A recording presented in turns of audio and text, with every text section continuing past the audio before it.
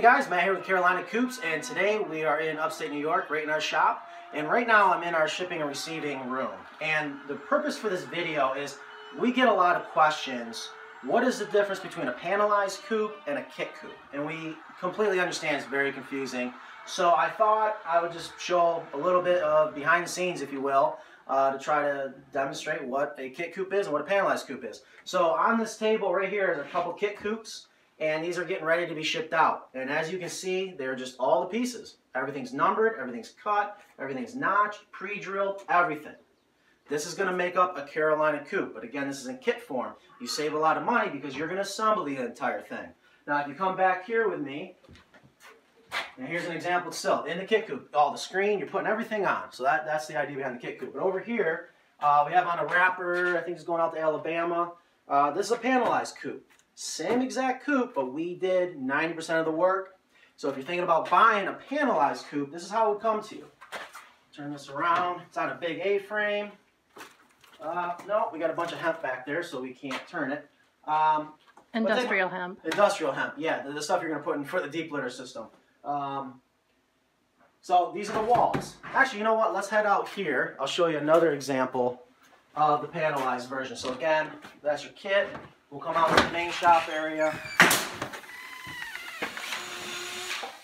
Okay, so actually here some more good examples of if you're thinking about buying the panelized coop, okay, versus the kit coop, the other big question we get a lot is what sizes, and we got actually three different examples here. Um, over here is a, is a coop in process being panelized. This is, uh, I think it's the one going out to Missouri. And this one's 8 foot wide. And we can ship that anywhere in the country. It's split right in half. Again, all comes to you all in panels. Now, our clients out in California, New York City, New Jersey, a lot of those areas that don't have a lot of room, they like the smaller coops. Uh, still huge compared to those pieces of crap coops you get from China. Uh, but we can custom make them any size you want. And here's an example of a much smaller. Uh, let's see, this is a 4 by I think it's a 4 by 18 going out to California getting ready to be shipped. I think we're just finishing up a couple things. Um, we're doing some French doors for the run. So this is one door. And, uh, but again, it's in panels. That's how it comes to shipped. And actually, if we turn around here, here's another example. Uh, here's a coop going out. Where's this one going to? We don't even know. But it's going somewhere in America, I'm sure, or Canada. This one's going to California? Thank you, whoever bought it in California. Um, another panelized coop. Maybe come around here, I can't spin this one, but you can get an example how it comes to you. Because that's the other big question is, well, how's it going to come to me? We actually custom make our own pallets, our own A-frames. So there's a vertical column in here that all the walls rest against. Gets wrapped, gets strapped. Perfect. Comes to you on a tractor trailer. And actually, if you come back over here, this is another example of a Lounge, California. They don't have a lot of room. They, they want to give their girls as much room as possible. Here's just a custom 4x18.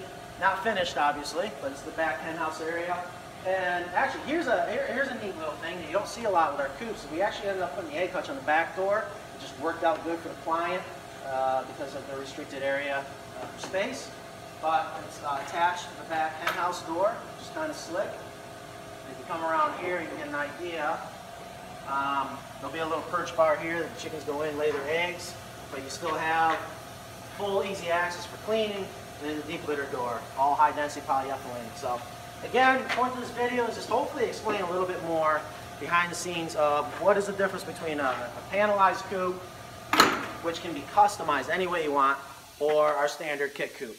If you have any questions, call me. If you're watching right now, my number will come up. Hey, you know what? Maybe I'll put it on right now. Hopefully you see it. Call me. I'll answer the phone. Thanks for watching.